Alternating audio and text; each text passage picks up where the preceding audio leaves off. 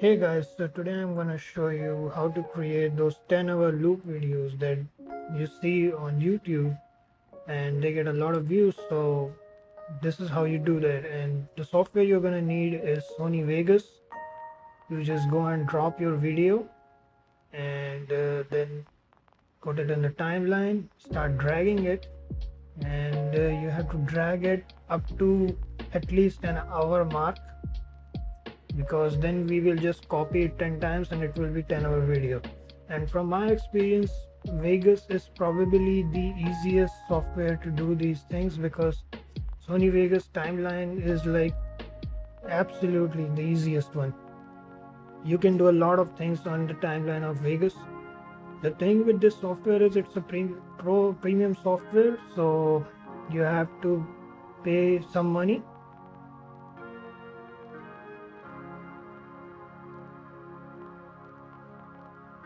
just you drag it and uh, drag it for an hour and uh, just drag it drag some more.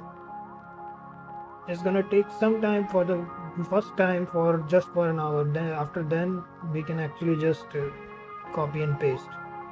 So just we are dragging this thing dragging and uh, some more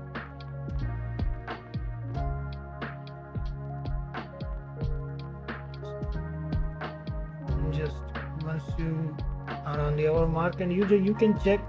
The thing is if you want to make exact 10 hour 10 hour video then uh, you just check the timeline. Just the time is just on the side on the left side.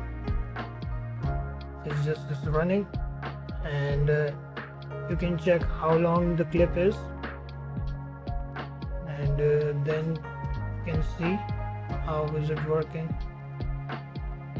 Just once you get an hour just copy the clip and uh,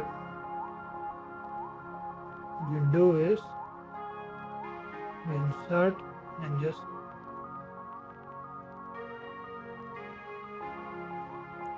put it there. Now it's two hours. Then here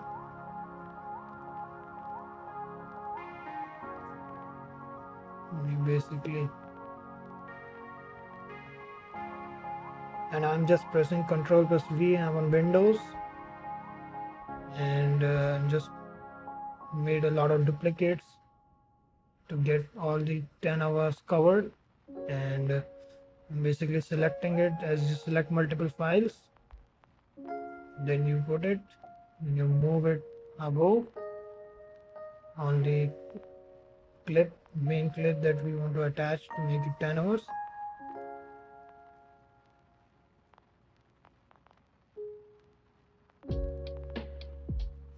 Just let's see. We have to just check if the clip is 10 hours or not and uh, you can see the clip is 10 hours. We hit the render button.